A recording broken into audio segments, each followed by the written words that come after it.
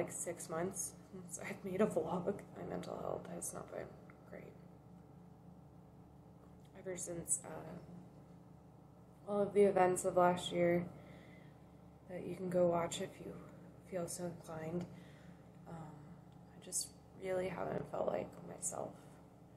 And normally I can kind of bounce back after dealing with stuff like that, but it's just been really hard for me. Like, I feel like most of my motivation and my like excitement for life has been taken away because I basically just stayed home for a year and a lot of really like crazy things happened with my relationship and uh, just in my life and with people around me and I kind of just became a hermit.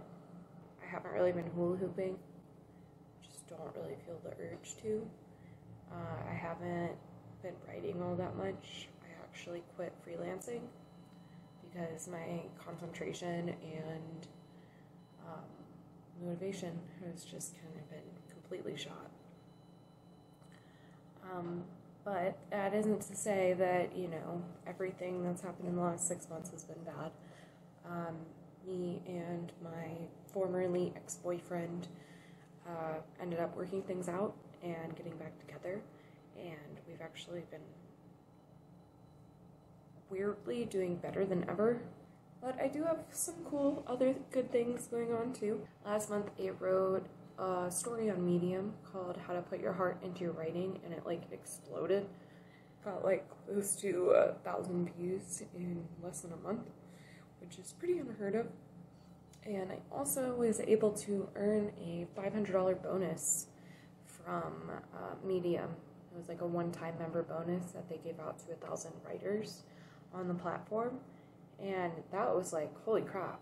Like, I was scrambling to pay my rent, and then I got a notification that I was getting sent $500, and I was just like, okay.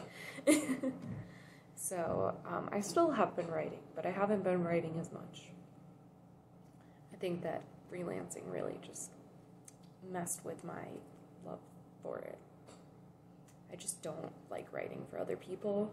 I don't mind helping other people with their writing, like editing and stuff like that, but when it comes to writing things specifically for money, I just always kind of knew that that wouldn't be what I wanted to do with my life.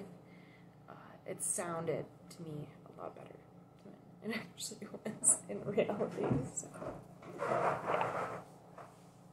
So, yeah, I guess that's kind of pretty much it. Don't think I have any any real updates to add other than uh, I'm not living alone anymore, which is nice because I was really not doing good. I was hoping that I would be doing good, but I wasn't. Doing a little bit better, but uh, I'm I'm still really dealing with like a lot of new things that I haven't dealt with before. I've never had major concentration issues. I've always been really bad at procrastinating. Like that's always been a thing for me, but concentration, I've always been able to kind of figure it out and get my focus on it. But lately, I just I literally just sit in front of the computer and like I'm not even entertained or even distracted most of the time. It's just like anything to not think deeply about all of the things that are really bothering me. And that's not to say that, like, my life has been particularly difficult or hard in the last six months because it's actually been pretty chill. Like, things have been good for me. I haven't had, like, a lot of, like, outside forces really affecting me that much. And it's just kind of strange.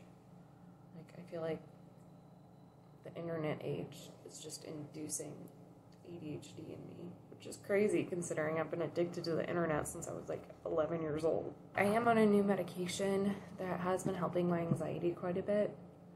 Um, it hasn't been helping with my motivation or energy levels very much, but um, I'm on something else that is helping me with my sleep, which should hopefully help with my energy levels. Um, I also really need to get back into exercising regularly especially now that it's warmer outside, I don't really have an excuse as to like why I can't go out and exercise or at least even just do something in my own house, which is pretty easy. I have weights, you know, like I have a yoga mat, I have things. Um, I, I just really feel like I need to impose some sort of like order and structure in my life. I actually was writing about that in my journal recently, how I just desperately need some structure. I think that uh, working from home has made me kind of like turn into a kid who's perpetually on summer vacation. Um, and like inside my head, my mom is like, Sam, like you gotta do your work, you know, either your summer reading, whatever. And I'm just like, no, mom, I don't want to work.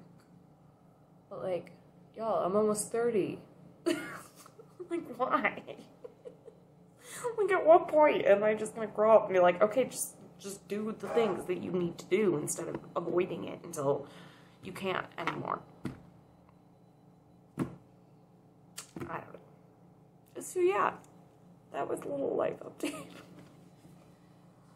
my kitten decided to come visit me in the midst of my speech he's really been like the best thing in my life in the last six months. He's gotten so big. I just can't even believe it. My little munchkin.